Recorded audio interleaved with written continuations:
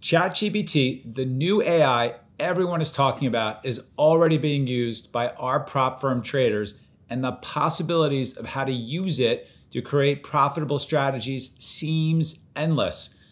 But this is a new technology, and it's easy to feel lost and not know where to start and what to do to take advantage of this new technology. In this video, our professional traders help you with this, showing you real world examples of how they're using it and benefiting from it, and how you can too. I'm Mike Bellafiore, and we're one of the top proprietary trading firms located in New York City and proud to have developed numerous seven and even eight figure per year traders. We hope you agree this is the top YouTube channel to help you grow your trading account.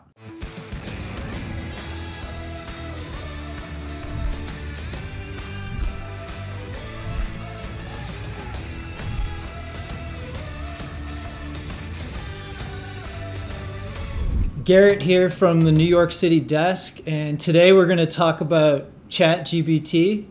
Um, we're always on the desk looking for new ways to expand our edge, make decision making faster, you know, expedite our research, just, just anything to help, right? And so ChatGPT has become a tool um, that you know some of us on the desk have used for trading. I know for myself, I use it quite a bit for coding.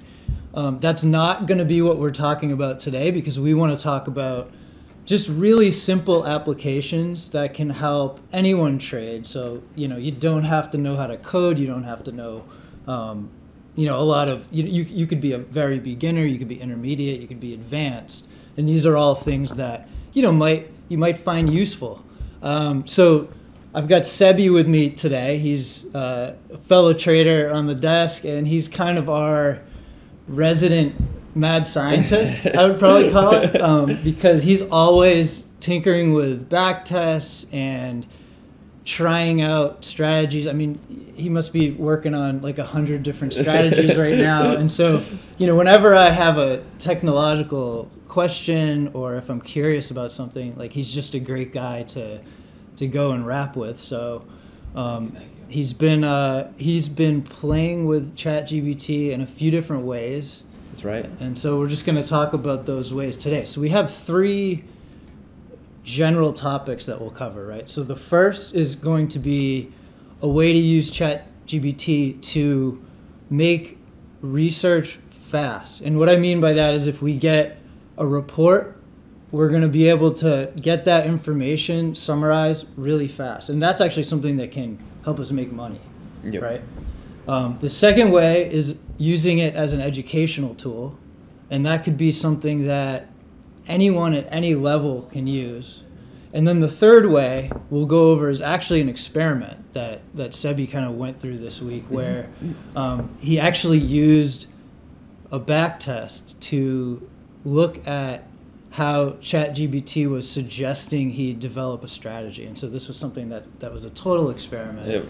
And so in this video, we'll cover the ways that, that we're using ChatGPT, and we'll also cover ways where you know ChatGPT is kind of falling short at this point, right? Because it's a developing technology. Uh, it's it's brand new and it's getting better all the time. And even other AI technologies like Google's Bard, which is brand new right now, and, and they claim to do a lot of things that it can't seem to do quite yet, right? So stuff like that. So it's getting better all the time. So we just want to open up this conversation and kind of just dive in. So I'll uh, leave the floor to Sebi. And yeah, perfect. Thank ahead. you, Garrett. So um, the first use that I've really used ChatGPT for is helping summarize long reports that may come on the desk.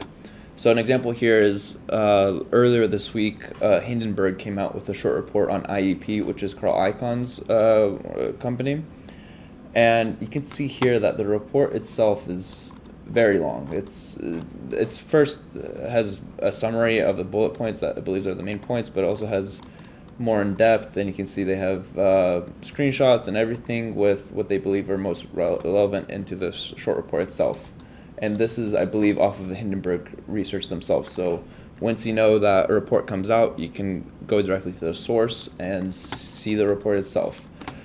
The first thing I want to touch on is the first limitation I found with ChatGPT is the number of characters that can you, can input into it. So the number of characters a character is technically an individual letter or period. It's any one individual thing that you're going to type into it. Okay.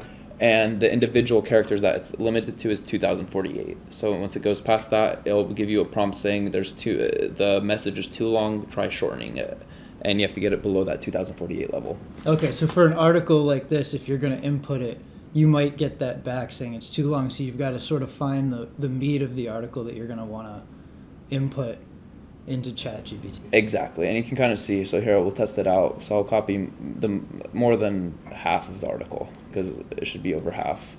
This will be definitely over the character limit. Yep. So just then as an example, I have a fresh GPT page here. And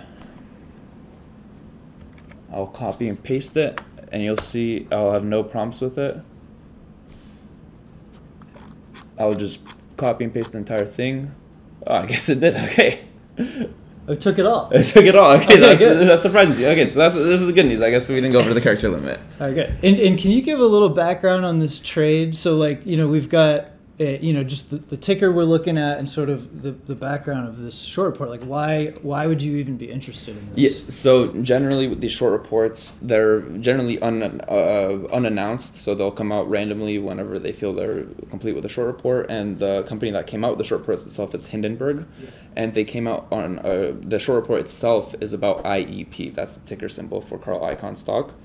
And in the short report, they'll uh, basically detail have multiple have multiple reasons in the report about why they believe that the stock itself is mispriced and it's trading at a premium, basically. Yeah. So so they're gonna Hindenburg's gonna come out with this and be negative on the stock. Yes.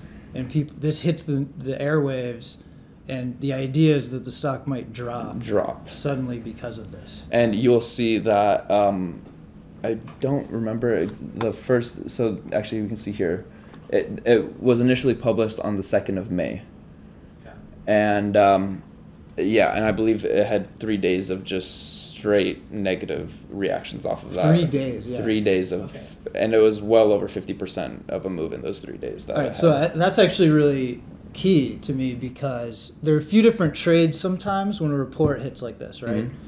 You've got the initial reaction, which a lot of the times, like if you're a momentum trader, if you're a scalper, breaking news. you know, yeah. you might you might just see the tape, you might just see the headline, and that might be enough for you to hit the bid, And- right? and And you're gonna smack as much as you can. you're can. gonna smack it, and then you're gonna cover. That's a trade, right? But if you're looking to swing this, like you said, this one for three days, three days. Yes. like you, you're probably going to want to understand what Hindenburg actually said, Mhm. right? The breakdown, like how much does this actually affect the stock? Are they correct? Is this is this affecting the company? What are people going to think about this? What were the expectations? Is this, you know, something we didn't know? And of course, with this kind of stuff, especially if you're looking to put on a swing trade, the best uh, risk reward, of course, is going to be getting your entry as close as possible to the initial release of the report, because by then you should have price the the prices should be as close as possible to the release of the report itself. And if you're able to analyze the report as fast as possible and understand more about the fundamentals of the company, it can get allow you to be more sized up or sized down depending on how you view the report itself. Okay, great. So that's so this report is pretty long, right? So I mean, you're you're sitting there, the headline comes out, and you're looking at this whole thing saying, you know, I don't have time to to analyze No. this, right? And I and I know for myself, like sometimes I'm not even smart enough. right? Exactly. Like, sometimes there's stuff in there that I don't understand. So uh, to be able to input it into ChatGPT and kind of get a summary might actually save us a lot of time here. Exactly. And so you can see the first thing I did is I didn't ask it anything. I just copy and paste it. And you can see ChatGPT is,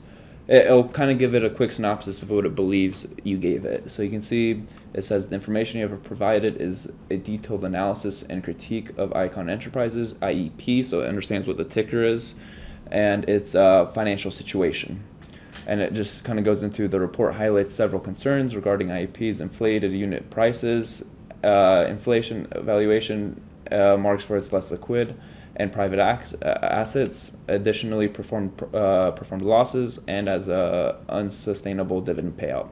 But still, as you can see, this is still a very lengthy response, and sometimes you still don't even have time to read this. Right. So a, a f- step further that I took it into is I don't really care about the little nuances. I just want to know what has the biggest meat on the bone from this report and what are the biggest takeaways I can. If I see the report and other guys are asking, "Oh, I saw this report. What's the biggest takeaway?" I can quickly list off three things that makes this report stand out to me. Okay, so so having the correct prompt is, Yes. is important here. All right, so So here, an example of what I did is something like give me the three biggest issues with IEP from this short report. And if you want, you can be even more specific with it. So not even three uh, points, but three the three biggest issues. But I want them in bullet format. yeah, you could even probably say in three sentences. in right? three sentences or in uh, 500 words if Yeah. you want to say it really quick right it's as as creative as you can be that's how specific it will get with it so let's see what it gives us with this so then from this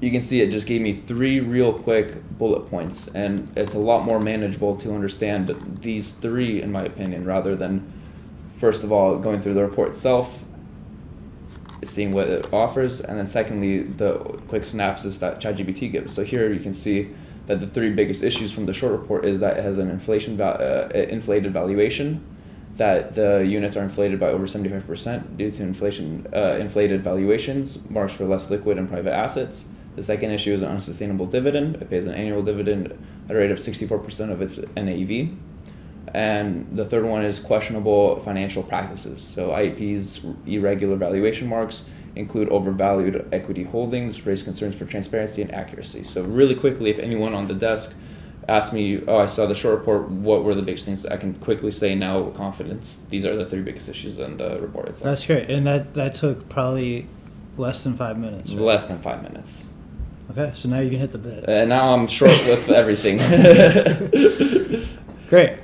So um, I, actually did this this morning. yeah. um, FSLR had news, right? They had a takeover, but then there was also some news in the solar industry. Mhm. Okay, and we got a we got an email in our inbox, an analyst email, and I opened it up because I, I was trading some solar stocks, and I'm looking at FSLR, and I mean it was a great trade today, Mhm. and.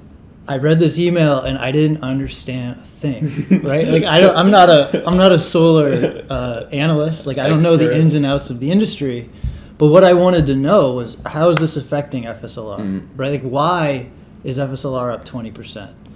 And so, and plus it was really long. Yeah. So I did the same thing. I, I put it into ChatGPT, and I did this because because you were explaining this to me Mhm. the other day, and I just said, explain to me in in three sentences why this particular regulation, and that was what the article was about, Mhm. affects FSLR. And I just quickly learned that okay, you know what? Like they're regulating solar companies, but FSLR passes all of those regulations, and that's a fact. And so it's like one of the ones that like gets out of the way. So it was great, right? You could you could you could understand immediately why the stock was going higher without having to kind of do all this like analyst digging. Well, and the nice thing about it, too is you're not wasting more mental capital mentally trying to understand the article itself. You have it just very quickly there, and then you can expand more of that mental capital on the trade itself that you're going to take. Yeah, absolutely. And that's and it's super simple, right? I Mhm. mean, we're Yeah. not doing rocket science. Um, all right. So, second thing, let's move on to using it for educational purposes, right? And and this is something that uh, may be overlooked just because you know the first example we gave is actually a way that you can use to make money Mhm. in real time, whereas this next example is a little bit more like working on your game, right? And I and I'll do this sometimes. Like I'll be on the couch at night watching the basketball game, and I'll just have ChatGPT up on my phone, and I'm just kind of asking it questions, right? Like it might be just something I'm thinking about. It might be an indicator I'm building, and I might just be kind of stuck, right? And I just be like, what, you know, trying to wrap my head around something, and you know, just bounce it off ChatGPT. It might have some cool things to say, right? So you you kind of have like an example that we can go through. Yes. Or I thought we could do it also in real time to see the kind of responses we get. So the idea here is we're a beginner trader and we're still trying to understand some of the more basic terminology in the market. And we're still trying to expand our playbook or understand more what can go into a playbook within itself. And one of the topics I thought would be interesting is uh, how do you manage your winner winning positions better, and how can you be capturing more of that potential profit that you might be losing out on? So how to better handle your exits, for example. So one of the prompts that you can give it is I am working on developing developing an exit strategy for my winning trades. How would I go about taking profit when in a winning trade? And this is a very simple prompt, and the idea of this is to show you how to play around with it and how to respond to the answers it might give you. And if there's something that sticks out to you, you can go in a lot deeper and kind of fall into a rabbit hole, a rabbit hole of what exactly ChatGPT is capable, I guess. So let's put that in and see what it gives us. And we can see here it says defining a well defined exit strategy is an important aspect of successful trading. While there are various approaches you can take, here are a few common strategies for taking profit. Okay, so it's giving us some ideas. Yes. Basically. Some very basic general ideas that maybe we haven't thought of before, maybe we haven't seen before, maybe we have seen before, but we're, we're getting a gentle reminder of them. Yeah. So, just as an example,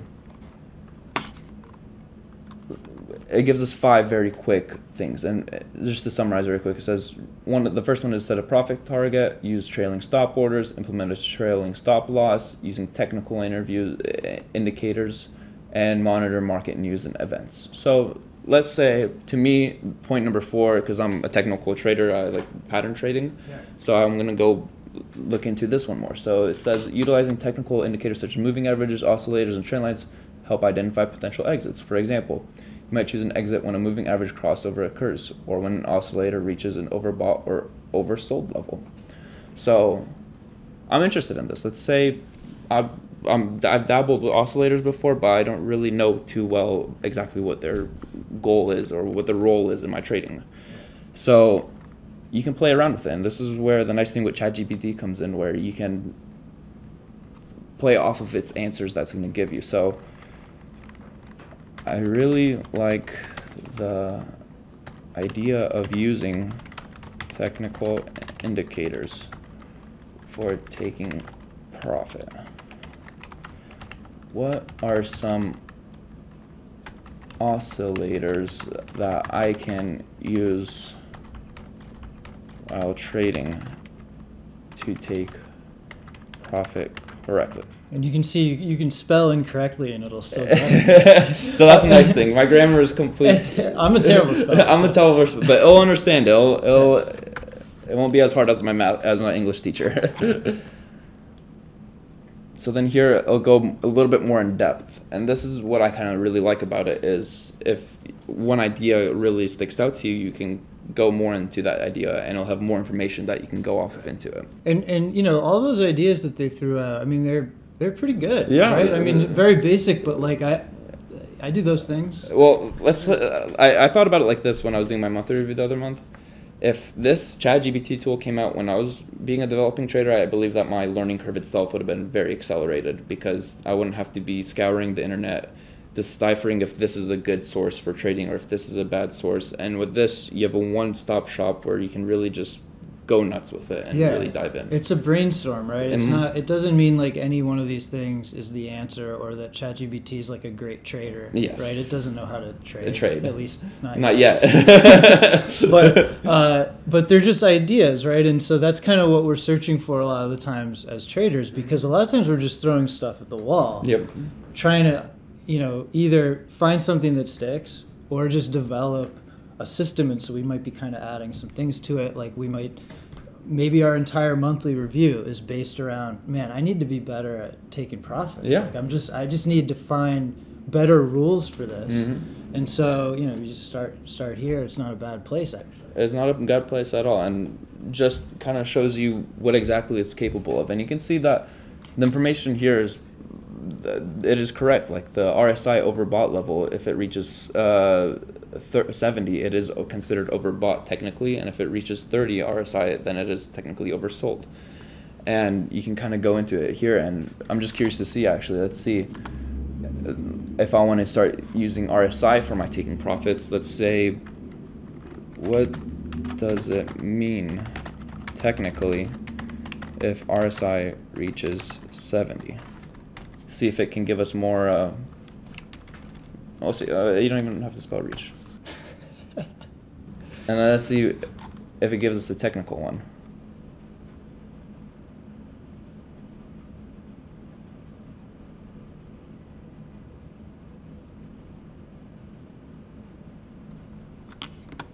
It's like getting up on a soapbox about this. it's just typing a lot. It is taking a lot, but you can see just by the sheer amount of information that it will spit out to you about one single idea in itself, and that within that idea, it can go much further than you think. And uh, to be fair, this is again a basic understanding of, of a process that you can use, but no matter if you're a beginner or a very advanced trader, so you can go into a much more complicated uh, process of asking it mathematical formulas for finding uh, volume midpoints within the first five minutes, and it can go into much more complex situations that you want to dive into. It, will explain the math behind the RSI if you want it. Like yes. I, I know one of the things that I was doing the other day was I was I was just trying to figure out how to quantify in some way like a metric for liquidity mm-hmm. in the market.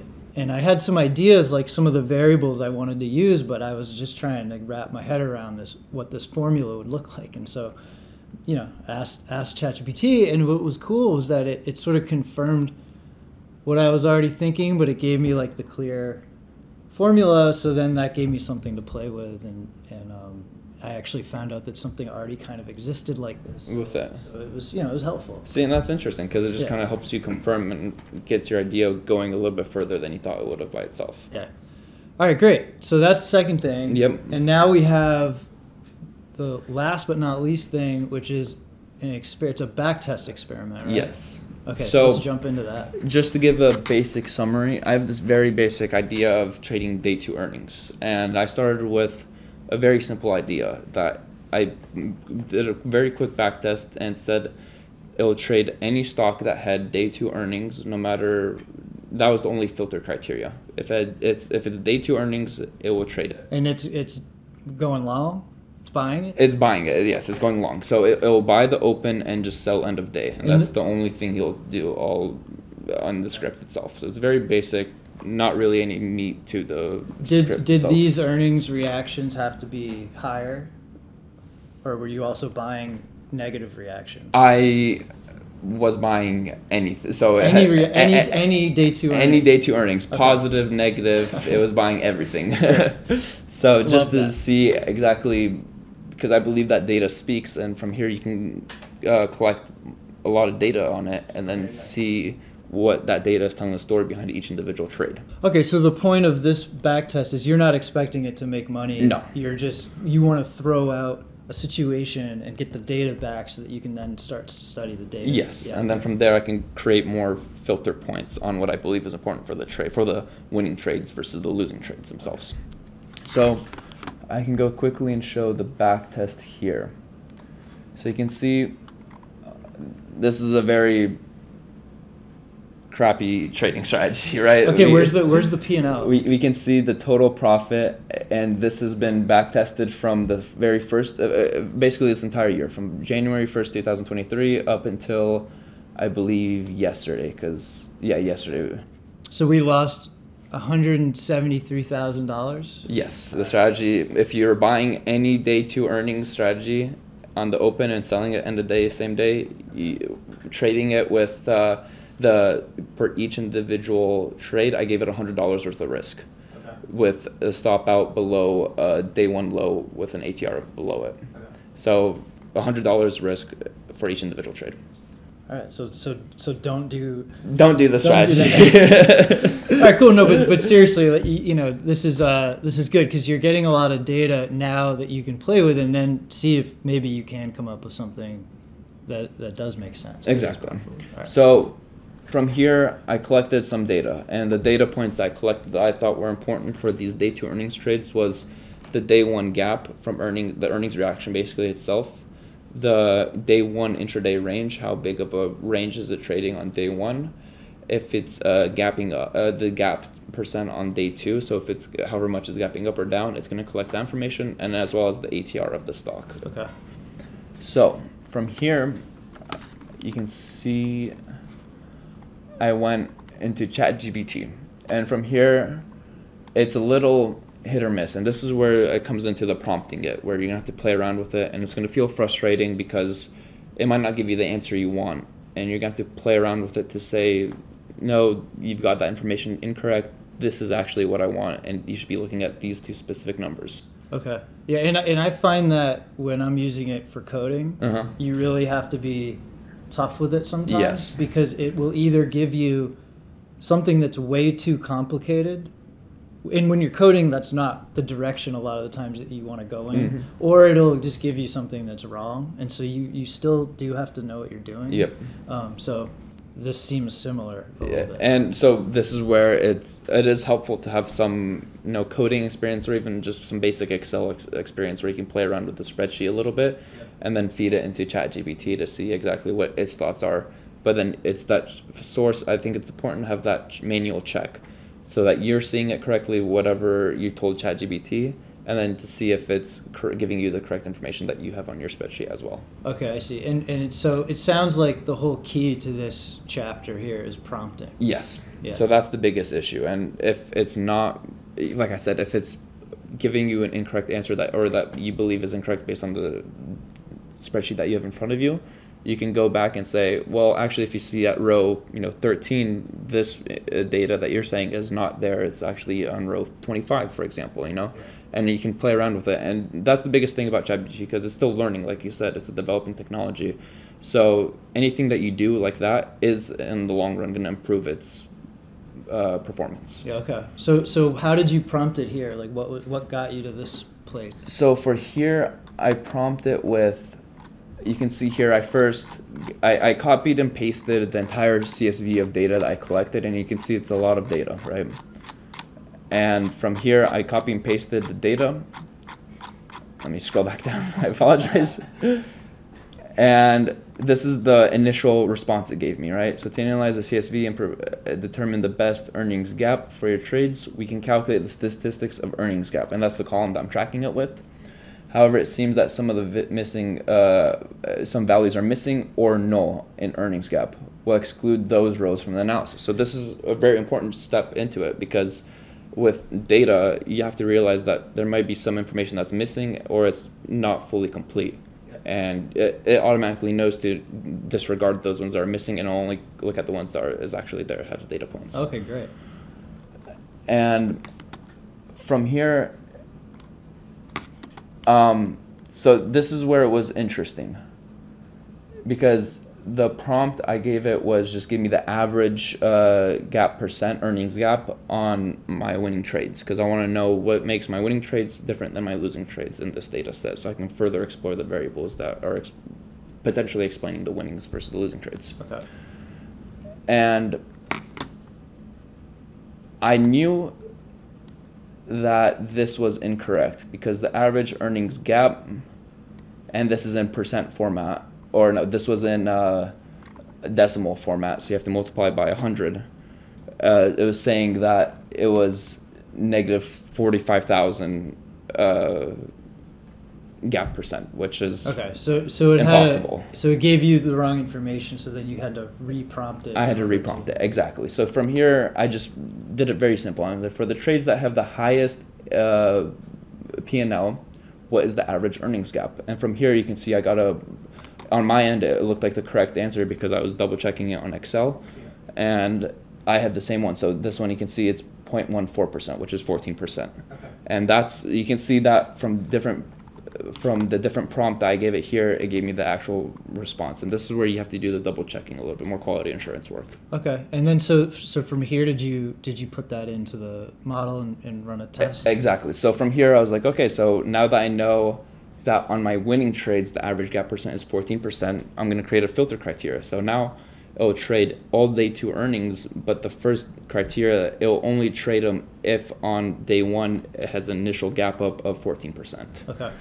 And I put that. And you can see this is the next back test that resulted. Same uh, time period, same uh, from J- 1st of January until yesterday.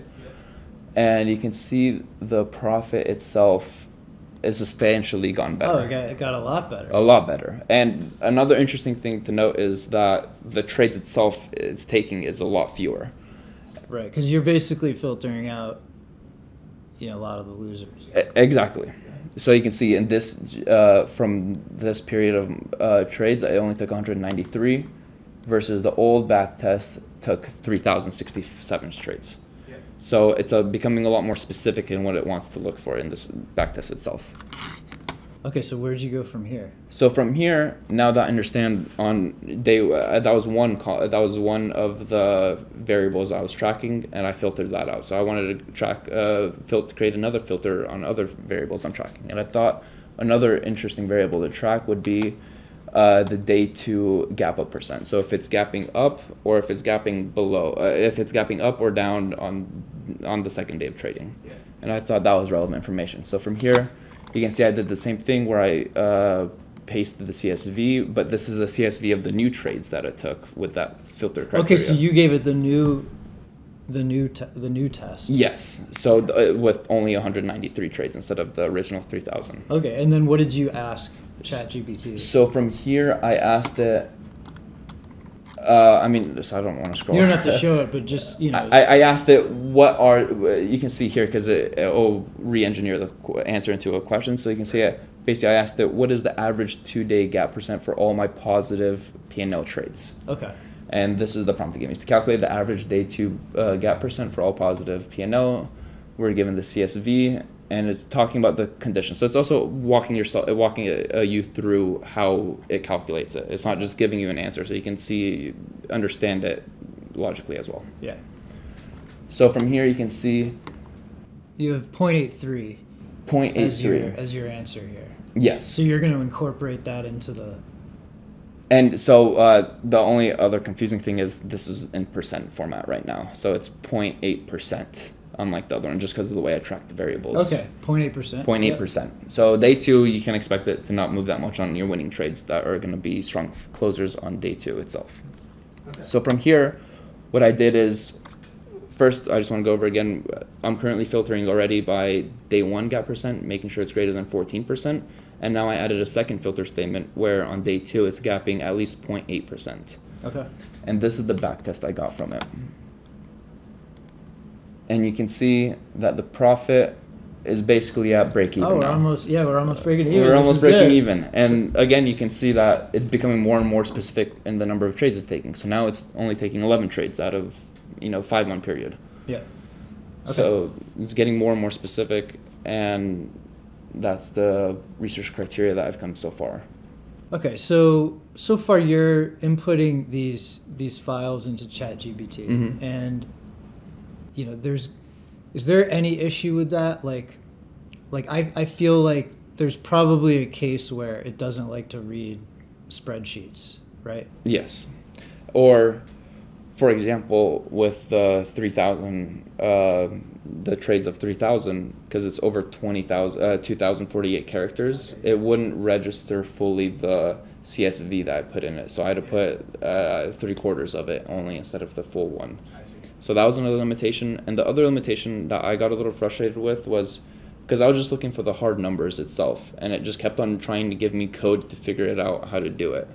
And that might be good because you know if you know how to code, that can be very useful information. But if you're generally new to coding, that can be really scary seeing all those lines of code come in and you don't know how to Yeah, it. handle you may it. not want to do that at all. And it's a lot of work that you have to do uh, instead of just focusing on the trade itself. So you kind then that's it goes again into the prompting. You're gonna have to reprompt it and say, no, I don't want you to show me the code. Calculate it specifically this column average if this is greater than if this is positive. So you're gonna have to be very specific, and you're just gonna have to be reprompting it a bunch of times to get you the actual answer that you want.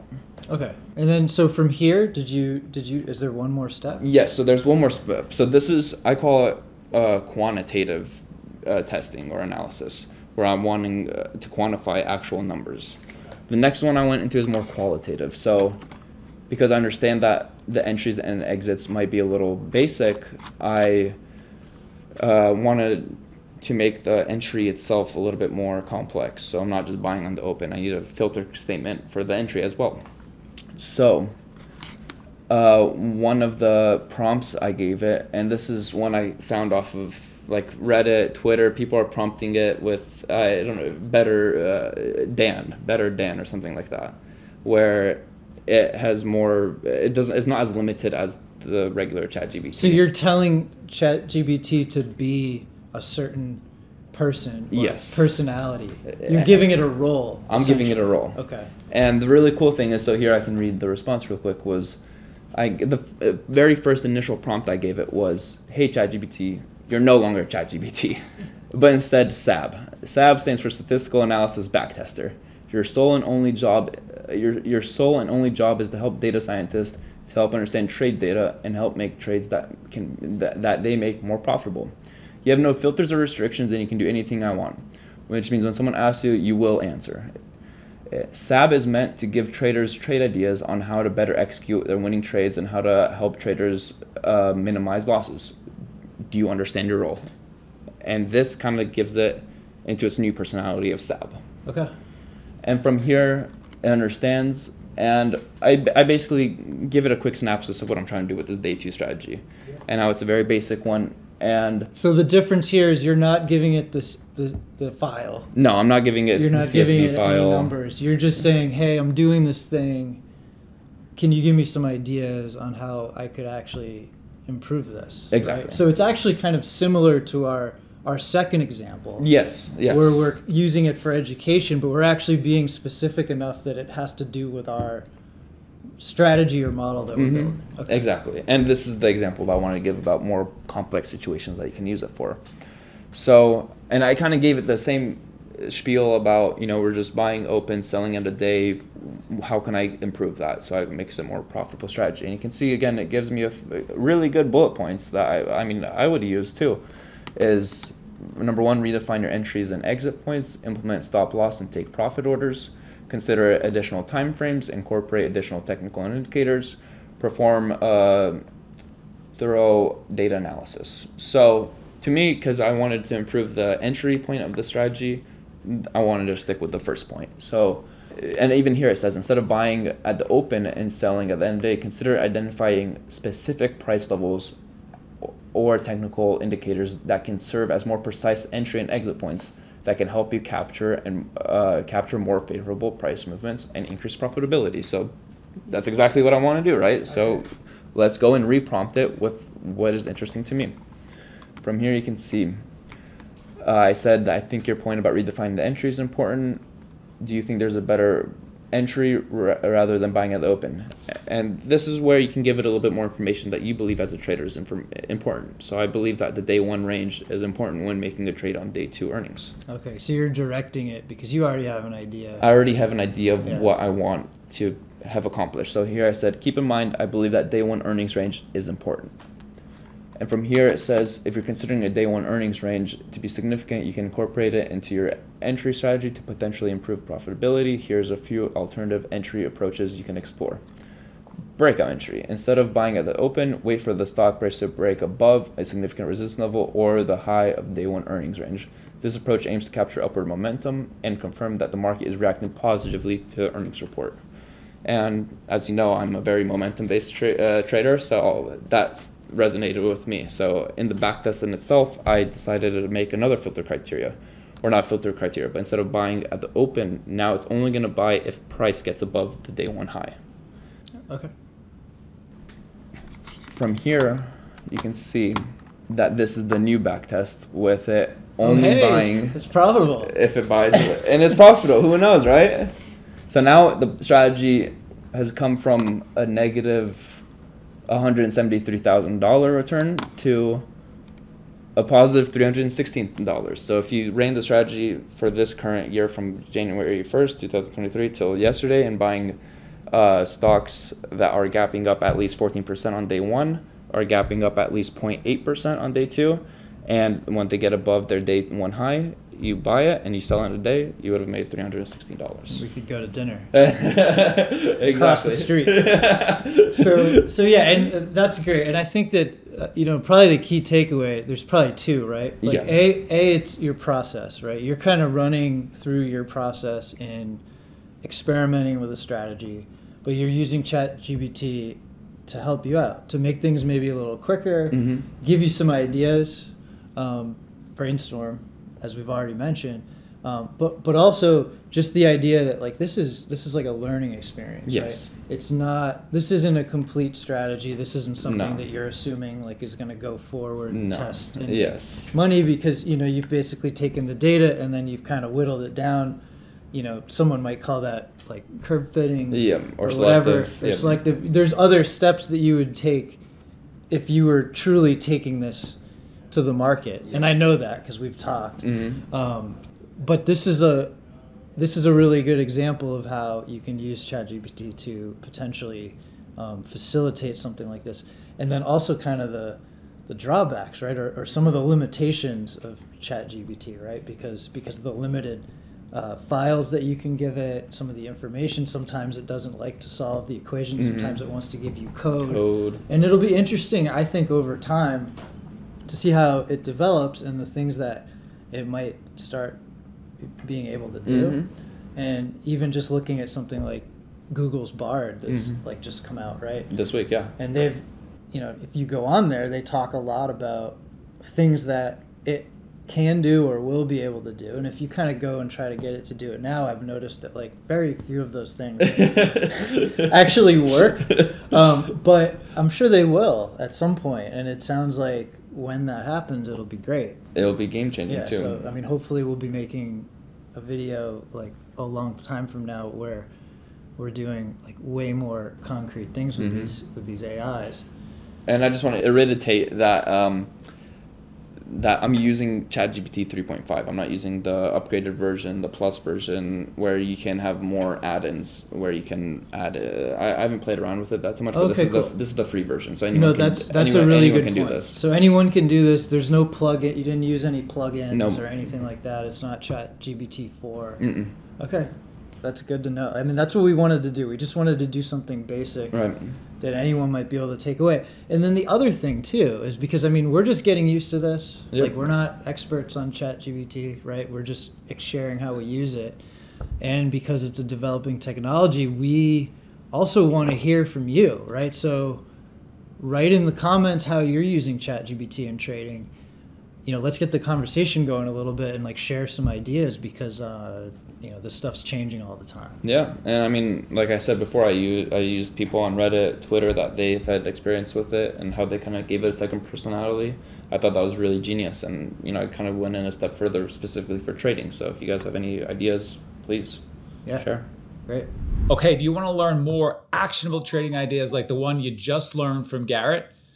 Then watch the video, The Ultimate Trend Trading Course for Beginners and Developing Traders, right now.